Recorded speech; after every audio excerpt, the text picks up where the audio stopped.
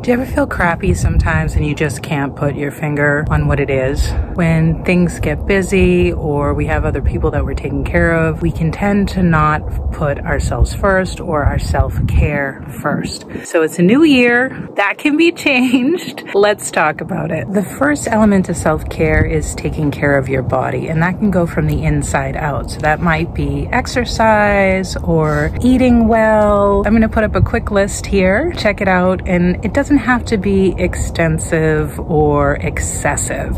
It's really just about moving and whatever feels good and comfortable for you. Say you didn't want to totally revamp your diet just yet, but what's one small baby step that you could take? Like maybe cutting down on soda or adding in more vegetables into your diet. Next up is what's going on up here, and that can be affected a couple of different ways. It could be internal, like intrusive thoughts, excessive stress or worry, or it could be external, which means like exposing yourself to stressful situations, like being in an unhealthy relationship or a high stress job. The third self care aspect is spirituality, and that can look different for many different people. It doesn't necessarily have to be religion, but it's how are you tending to your soul? So if you're going out and putting out good things into the world and kindness, you're going to see that reflected back to you. The opposite is going to show you the opposite. That's one thing to think about when it comes to weighing your spirit. Another thing is investing in the things that are important to your spirituality, whether that be prayer or meditation. So let's say you're really busy and you're like, I just don't have enough time in the day to do all three things.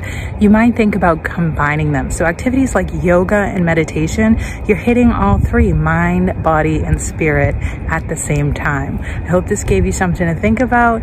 Remember, baby steps is progress. So just making one small change and then ramping it up as you go along and you start to see the difference is gonna help you keep motivation. You don't wanna put in a whole bunch of really aggressive changes all at once because then it's gonna feel overwhelming. It's gonna be hard to stick to.